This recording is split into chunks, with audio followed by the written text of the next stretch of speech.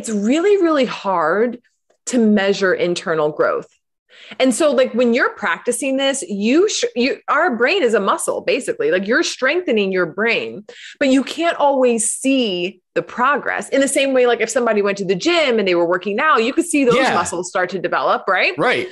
So I want to just encourage people that know that every single moment, even when you're meditating and your your mind starts to wander and you pull yourself back, even that is good for you. Like that is progress, that is effort, that contributes to your growth.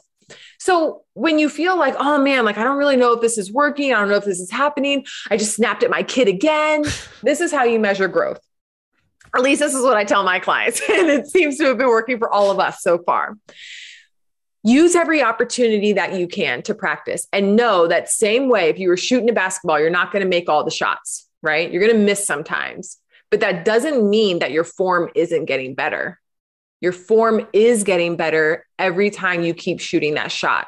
So keep showing up keep doing it keep getting in that rhythm because you will be able to see your growth when you notice that you can shift yourself into alignment quicker so it may take you like, okay, I snapped at my kid and I, I totally lost it. But like, did you go back and apologize and like recognize that, hey, man, I probably went too far. Sorry, I yelled at you. This is my frustration. I want to explain it to you. If it takes you, if you never go back and do that, then you know, okay, that's an opportunity for growth. I should go back and apologize. Then maybe you feel uncomfortable. It takes you three or four days. Then maybe only takes you a day. Then maybe it only takes you a couple of hours. Then maybe you do it and immediately you say, I'm sorry, like just give me a second to reset. I will come back to this conversation. And then you get to the point where you can go through all of that internally. That's how you measure your growth.